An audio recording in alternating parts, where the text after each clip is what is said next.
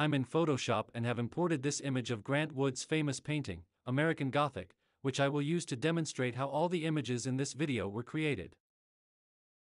Because I am interested in what might be visible outside of the painting itself, in both the left and right sides, I'll be using Photoshop's AI-powered generative fill feature to accomplish this.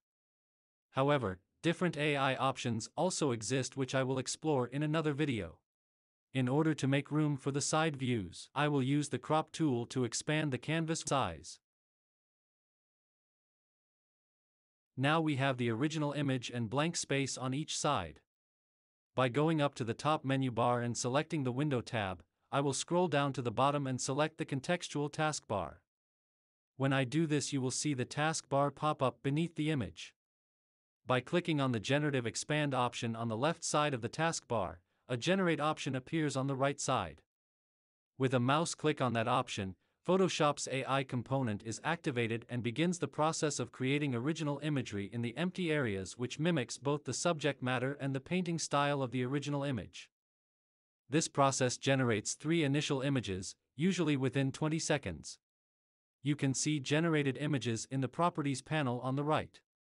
By clicking on each generated image, I can see them in context with the original image and determine which one best meets my needs.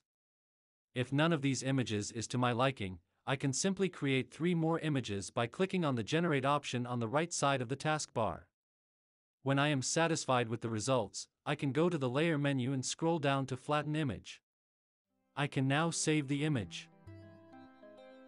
I hope you enjoy these 15 images.